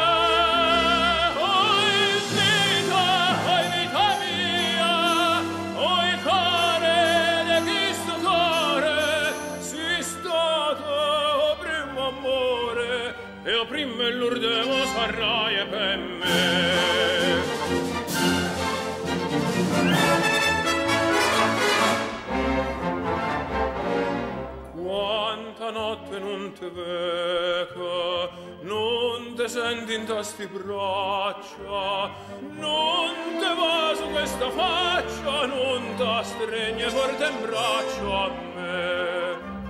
Ma scetanna ma sti suona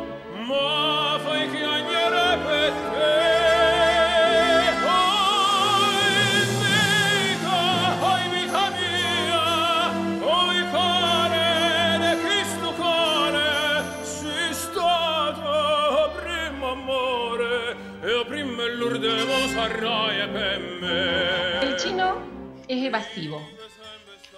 ¿Qué significa Nunca- evasivo? Que, Mira, que trata de eludir. claro, nunca te va a decir que no, directamente de frente.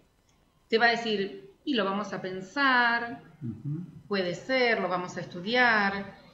Ahora, si un chino te dice en una conversación, y el problema no es serio, es porque realmente hay un problema. También el chino hace un amplio uso de los silencios. Por eso no tenemos que otorgar con el silencio. No dar por aceptado por nosotros, o mejor dicho, no permitir que ellos crean que nosotros aceptamos lo que solo insinuaron. Sino, si algo no entendimos, tenemos que pedirle que sean bien explícitos. Eh, ¿Qué otro tips te puedo dar? Eh, es pragmático, como te dije, que 2 más 2 es igual a 4, lo que sea necesario que sea. Por eso es necesario dejar algo por escrito, por lo menos las bases de un acuerdo marco, los Una- temas que se tratan en una primera reunión, O una reseña. una reseña. Ajá. Algo importante también es no cambiar el interlocutor, porque si nosotros en cada reunión le manda, en- enviamos un interlocutor distinto, hay que comenzar de nuevo todo ese proceso de quanshi, de confianza, para poder empezar con los negocios. ¿Y cómo hacemos para que los chinos adopten algunas de nuestras costumbres? Bueno, la están adoptando. Están adoptando muchas de nuestras costumbres. Una vez que ya te conocieron, yo te estoy dando los tips para una primera reunión. Quizás en la segunda, en la tercera, ya te, una mujer va a venir y te va a dar un beso, o un chino te va a saludar con un abrazo. O sea, se están occidentalizando en las comidas incluso. Y ahora te comento de las comidas. Vos fíjate que hoy en día ya los chinos usan tenedor y cuchillo. Eh, yo he, realizado varios viajes a China, el primero lo hice en el año 2008, y bueno, era muy difícil encontrar un chino con cubiertos. Ellos manejan los huaitzi. Cuando vas a, una comida china, si hay algo que no te, que veas, te referencia ahora, cuando vas a una comida china, que no, no es una reunión de negocio, sino es una reunión, una comida post reunión de negocio, el chino te va a sentar a su derecha, como invitado de honor. Y el anfitrión incluso hasta te va a servir la comida para atenderte, para tener una atención con vos. Te hago esta diferencia de la ubicación en la mesa. En una reunión formal de negocios, la forma de sentarse es el estilo a la francesa. Suponte, en esta mesa rectangular, cada uno de los líderes se va a sentar en el centro métrico de la mesa, es decir, en el medio, enfrentados. A su derecha se va a sentar la persona que le sigue en jerarquía y a su izquierda el traductor. A diferencia de una reunión informal, te va a sentar al lado para poder atenderte y brindar con vos. Las mesas, seguramente has ido a China, seguramente las has visto, son mesas redondas, de base redonda, que tienen en el medio otra mesa giratoria, redonda, para que gire y todos puedan degustar los distintos platos que se sirven, que son entre 20 y 25 ¿Y platos. cuál es el que más te gustó? Uy, mira, el pato laqueado de Pekín es exquisito. Comen mucho pato, comen mucho pescado, comen mucho cerdo, carne de cerdo, sopas, empanaditas chinas, ravioles chinos, frutas, sobre todo la sandía y el durazno. Y la buena costumbre indica probar un poquito de cada cosa con unas cucharitas de porcelana, con, en un bol de porcelana que te van a, a dar, te servís dos o tres cucharitas de cada uno de los platos y degustás todas. Ahora eh, te comento sobre algo muy importante que es el campei. No sé si escuchaste. Campei es la forma de brindar. Es como decir salud, pero significa fondo blanco. ¿De tomarse todo? Toman una bebida alcohólica que tiene 53 grados, que es el fermento del grano de sorgo. El chino brinda mucho en la comida, no toma sino brinda. Brinda con el de la izquierda, brinda con el de la derecha, con el Con de todo frente, se cada con que- todo. Y cada vez dicen campei y hacen fondo blanco. Para los extranjeros es una prueba de resistencia, te voy a decir. Y sí que tengas buen hígado, porque si estás sufriendo del hígado no vayas a la reunión. Exacto. Pero bueno, al menos una vez tenés que aceptar y probarlo. Fue.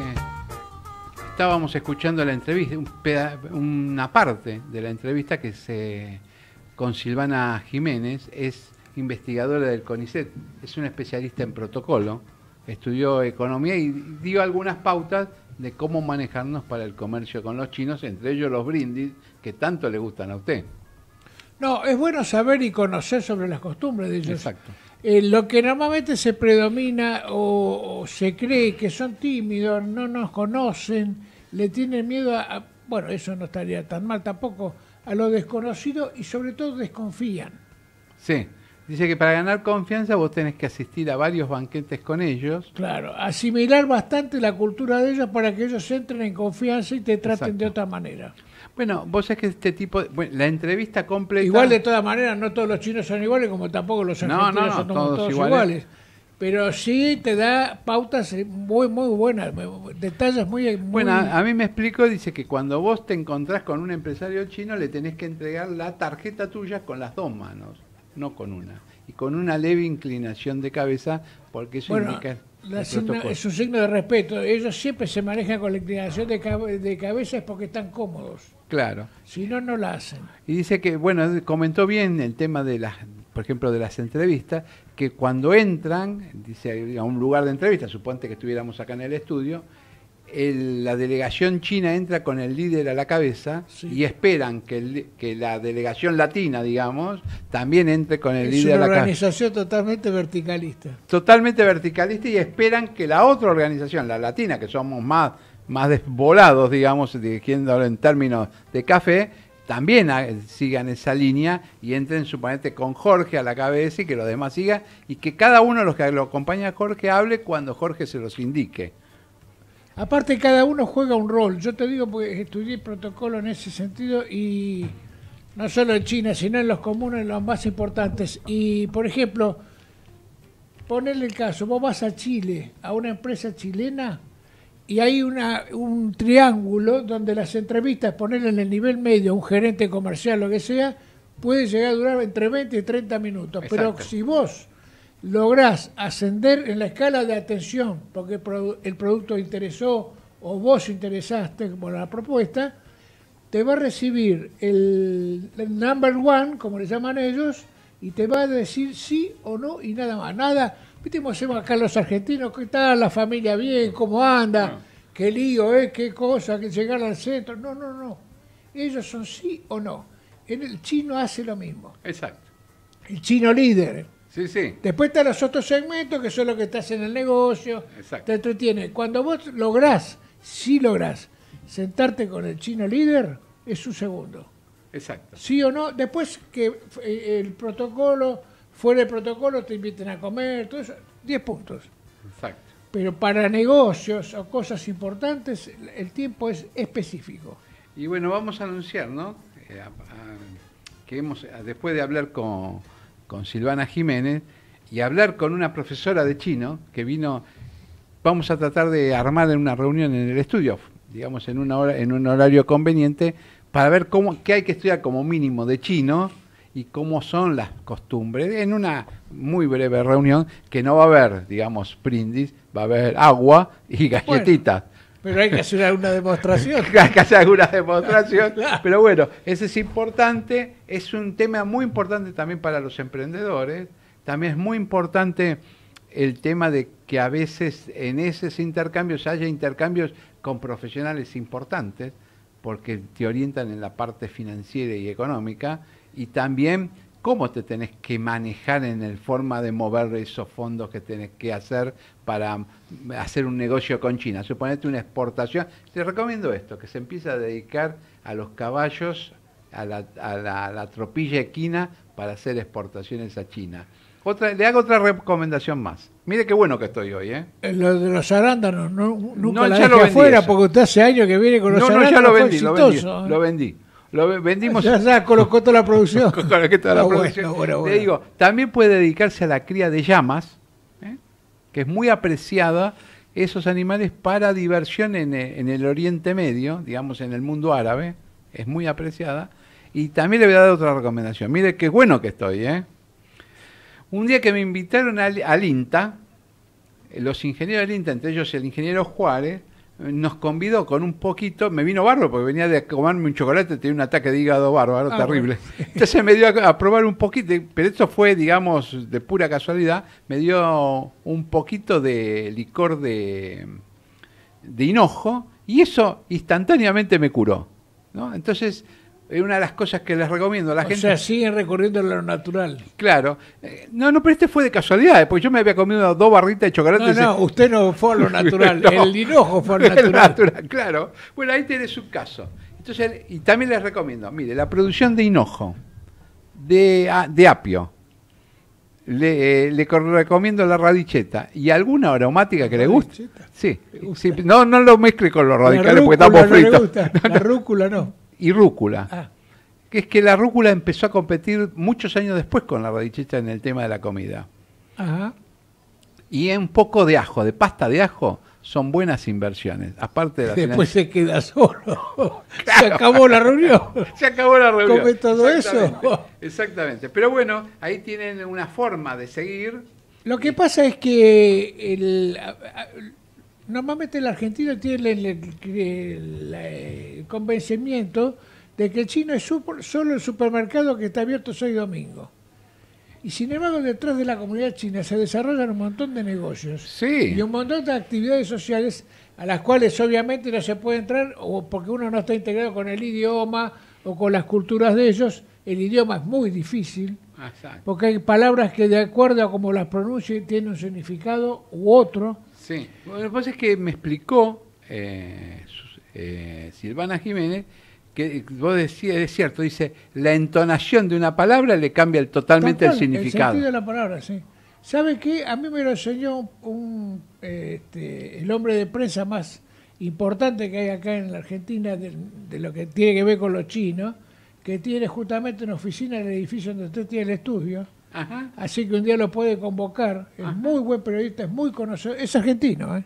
Es argentino. Es hijo de chinos. Ajá. y ha desarrollado una actividad espectacular de- con relación a la, a la comunidad china, involucrándola con la Argentina, ¿no? En actividades culturales, sociales, que no se difunden, Exacto. porque ellos no, no tienen mucho tampoco interés en difundirlos. Es decir, van a un público selecto, especial y definido. No, es- no, no, no, no van a lo masivo, por lo menos por ahora.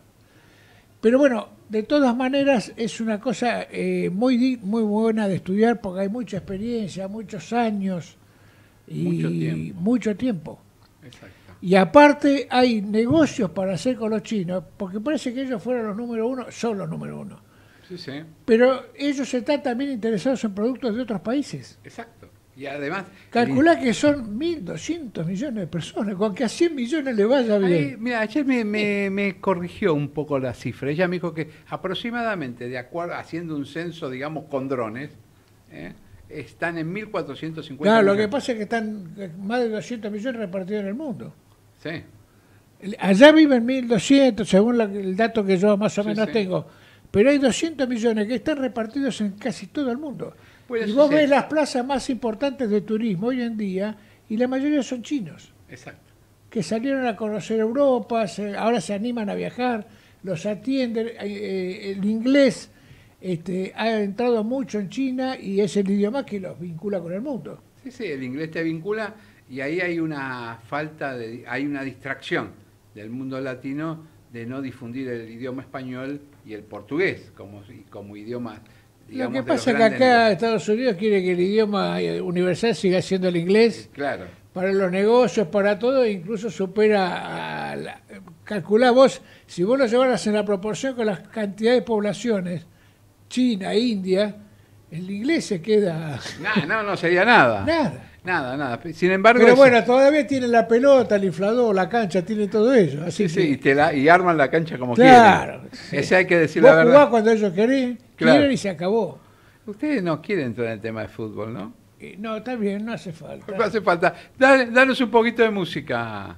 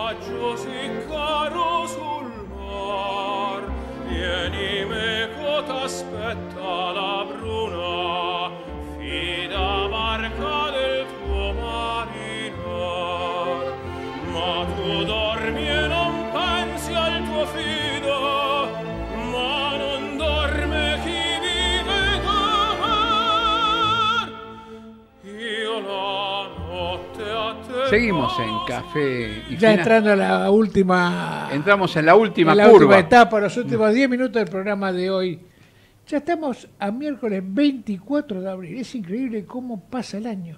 Exactamente, pasaron cuatro meses ya.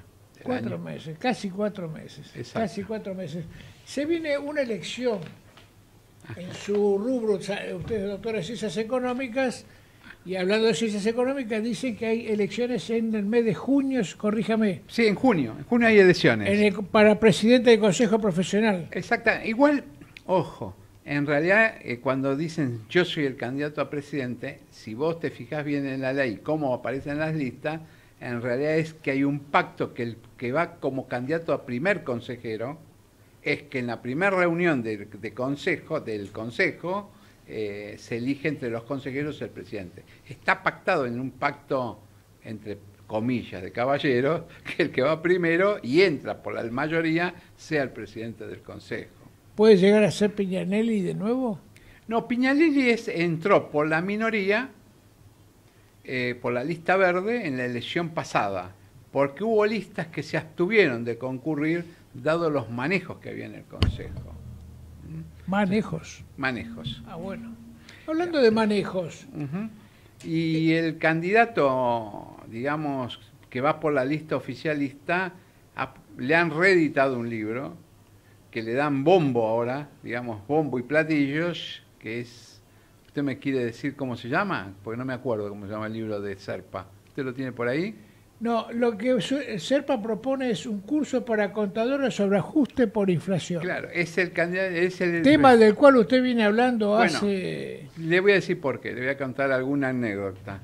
Es que en 1968 Santiago Lazzati, quizás uno de los más brillantes en la, quizás uno de los más brillantes en la carrera en la en ciencias económicas, inventa el ajuste por inflación que se prueba por primera vez en una empresa argentina.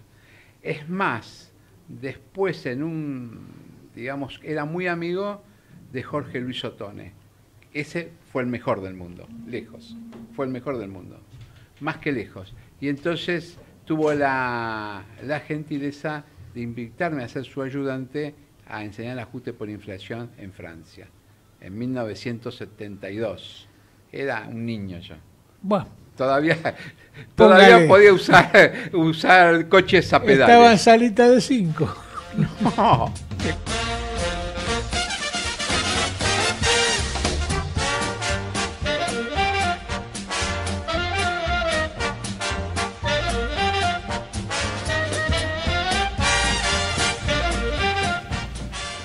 Seguimos en Café y Finanza, son 13.53, estamos a muy poquito del cierre, pero tenemos una entrevista que ya lo tenemos en línea, según nos dice nuestro productor, ¿eh? José Ignacio Vano, que es economista, gerente de Invertir Online. Buenas tardes, ¿cómo está? ¿Qué tal? Buenas tardes, ¿cómo les va? Muy bien. Eh, con- vos que sos un especialista y que sos economista, ¿no? Contanos un poco cómo ves el panorama político y económico de la Argentina y si las medidas propuestas por el gobierno van a dar resultado o no. O pueden dar resultado o no. Ya que la economía de la Ah, una claro. A ver, hubo una serie de medidas y, y- y- y la verdad que es, un- a ver, el efecto político, si se quiere también la psicología del inversor va por un lado y, la realidad financiera me parece que va por otro en este momento, ¿no? Hay más una sensación de que la gente está más asustada y, y- y corre ante cualquier noticia, este, por ahí no necesariamente tan basado en los números. Cuando estrictamente los números, los números no son tan malos. Yo te doy un ejemplo. Mira, la semana pas- la semana pasada, bueno, vos viste la cantidad de este, noticias que tuvimos, que el mal dato de inflación, malísimo, eh, toda la serie de medidas que, que- que hablaron sobre las bandas de intervención cambiaria, las medidas que, de- que, que- que notificaron sobre eh, precios cuidados, digamos, hay un montón de cosas que, ah, ah, digamos, algunas con más importancia que otras. Pero lo que para mí me parece que pasó demasiado desapercibido fue este lunes que eh, Duhovne dijo, bueno, mira, este es el resultado fiscal del primer trimestre del año. Ese para mí fue, eso para mí fue lo más importante que pasó en los últimos 10 días, digamos. Y de nuevo, es por ahí es más entretenido hablar del precio de la yerba o del aceite y si son 60 precios, cuidados y cuánto, etcétera, que de este tema. Pero el tema mayúsculo es este. Yo estoy sorprendido de, de la poca importancia que se le dio y yo pienso además que es un buen, un buen este, una buena noticia. Eh, concretamente lo que dijeron es, en el primer trimestre teníamos un objetivo, la República Argentina tenía un objetivo que era eh, tener un superávit primario, primario, o sea, después le tenés que sumar los pagos de la deuda, ¿no? Tener un superávit primario de 6 mil millones de pesos. Y lo superamos. Tuvimos 10 mil millones de pesos de superávit primario. Esto, yo estoy cansado de haberlo escuchado durante años y a muchos economistas, especialistas, diciendo, esta es la madre de todas las batallas. Parece que esa era la frase que había que hablar, que decir, todo el mundo utilizaba esta misma. Esta es la, la madre de todas las batallas. Concretamente, tenemos que cortar con el déficit fiscal. Un país deficitario que no funciona como debe funcionar, que no llega al equilibrio fiscal, después te lleva a que tengas que salir a tomar deuda, abultada deuda, si eso no funciona tengas que tener un acuerdo con el fondo que te ata de manos, que si todo eso no funciona tengas que ir- quedarte en el mercado interno, tengas que imprimir, este, lo cual te lleva a inflación, eh, toda la deuda tomada en el exterior está nominada en dólares, por supuesto, entonces después tenemos serios problemas cuando se escapa el dólar y estamos preocupados por el tipo de cambio. Todos los principales males de Argentina desde este momento, todos son problemas del déficit fiscal. Que hayamos llegado desde el 2011 hasta acá, o sea, después de ocho años, que hayamos llegado a un trimestre con superávit fiscal, para mí es la noticia más importante que tuvimos. Yo creo que no se le dio este, el carácter que debería haber tenido esta noticia en todos los medios. Ajá. ¿Y cómo, a ver, si vos estuvieras ahora que tenés que aconsejar a la gente que te escucha y ya que estás en una empresa de- que sos gerente de invertir online, ¿cómo se tiene que manejar la gente en este momento? ¿Arriesgando o con mucha prudencia? A ver, yo sería sobre todo cauto, sobre todo cauto. Eh, y lamentablemente muchas veces tenés que hacer, tenés que copiar lo que hace el resto. Yo la otra vez escuché una frase que me, me encantó, decía, el, el mercado puede permanecer más tiempo equivocado que el tiempo que yo puedo per- permanecer solvente, ¿no? O sea, no importa si el resto está equivocado, eh, muchas veces es, es, es casi hasta inevitable un comportamiento de, de manada. Entonces, viste, pararte enfrente del tren que viene es complicado. Eh, entonces, de nuevo, a mí me parece injustificado eh, lo que estamos viendo hoy. eh, semejante suba del riesgo país. Semejante, bueno, ya no lo vimos hoy, ¿no? Ya hace varios, días que lo venimos viendo. Está subiendo 7% el riesgo país, ¿Vos decís que esa es una, 130 puntos. decís que es un poco el miedo que tiene la gente o que la, que la propia gente percibe que a los políticos les falta inteligencia? A ver, es, es por miedo. Ahora, ¿en qué está basado el miedo? Cada uno tendrá sus motivos, digamos, ¿no? Eh, los principales, un poco lo, lo- lo- de lo que se hablaba, eh, en base a lo que vimos el- ayer- la semana pasada, es salieron primeras encuestas y esas primeras encuestas daban un resultado posible que al mercado no le cae simpático. Entonces, todo el mundo está pensando más en desarmar posiciones por las dudas. Eh, aparte sobre eso, después se empieza a apalancar, ¿no? Se empieza a construir. Exacto. Después salen informes de, de bancos de inversión grandes que también recomiendan lo mismo. Y después todo eso activa la bola de ventas y entonces cae el precio de los bonos. Hoy estamos viendo bonos como el AI-24 que vale 86 dólares. O sea, no se puede creer, es un bono que te va a devolver el 20% ahora en mayo. eh, mayo, o sea, el mes que viene. eh, en dólares, digamos, y ya tiene una caída tiene una caída semejante, o sea, tenés bonos que están vendiendo ahora al 17-18%, el lado 20, bono que vence en octubre del año que viene, octubre del año que viene, estamos a 17 meses, 18 meses, Exacto. rinde eso, tiene 17, 17 puntos de tiro, o sea, tiene un rendimiento de 1% mensual en dólares. O sea, eh, vos vas, digamos, codicia contra miedo. O sea, si en este momento lo que más tenés miedo, y bueno, hacerlo más sano para vos, digamos, cuidate, que no, no te vas a parar en contra de la manada. Si no tenés miedo, no se pueden creer las tasas y las oportunidades que hay en este momento. Pero bueno, a cierto nivel de riesgo, por ahí que las cosas valen lo que valen. Ahí te tengo que, bueno, estamos a, a segundos de cerrar el programa. Te, Ok. agradez- te agradezco mucho que hayas estado con nosotros. Un Te placer. invitamos cuando vos quieras estar en la mesa, o nuestro productor te va a llamar y vos combinás cuando quieras venir o cuando quieras volver a hablar por teléfono con más tiempo que hoy. ¿Mm? Bueno, bienvenido, cómo no. Muchas gracias por haber estado con nosotros y bueno, tengo que dejarle paso al programa que nos sigue, que viene al rojo vivo como los mercados.